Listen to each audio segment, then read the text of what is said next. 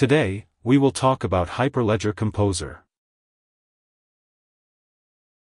Hyperledger Composer is an open-source set of tools that allows business owners, operators, and developers to create blockchain applications and smart contracts to solve business problems and improve operational efficiencies.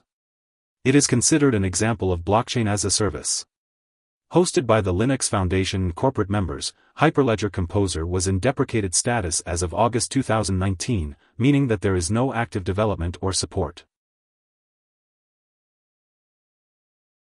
Hyperledger Composer is built in JavaScript and is used to develop Hyperledger Fabric blockchain applications.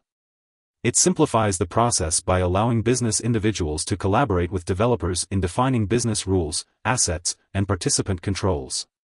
Similarly, developers can configure the blockchain's digital assets, transaction logic, and access controls.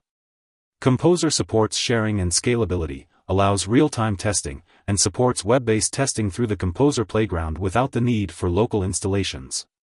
It is possible to create and run a sample blockchain using Hyperledger Composer, granting restricted permission to various participants, and facilitating the trading of goods through defined roles, terms of agreement, and shipment tracking.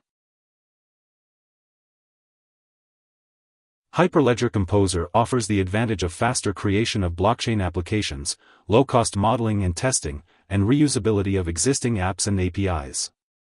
The Business Network Archive and Composer Playground are central to its architecture, maintaining core data and functionality of the business network and enabling modeling, functional testing, and deployment testing. The Loopback connector supports various APIs and integration capabilities, allowing easy interface with the Hyperledger Composer for a variety of client and non-blockchain applications. Here are three key takeaways.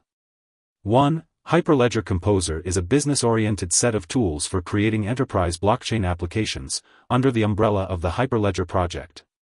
2. Composer was meant to facilitate creation of open-source blockchain application that fostered collaboration between within organizations and business networks. 3. Work on Composer was halted in summer 2019, and is now part of the more comprehensive Hyperledger Fabric platform. Hope this would help, thanks for watching.